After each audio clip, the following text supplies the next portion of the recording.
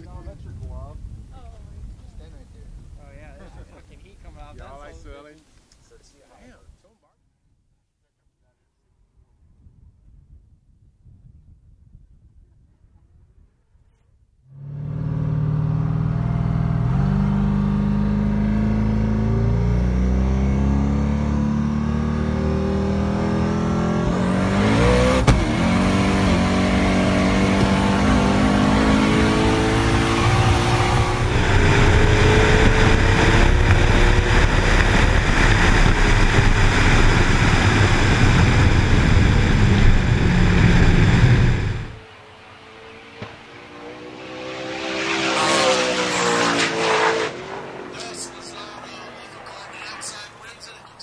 might have happened to that number 12 car.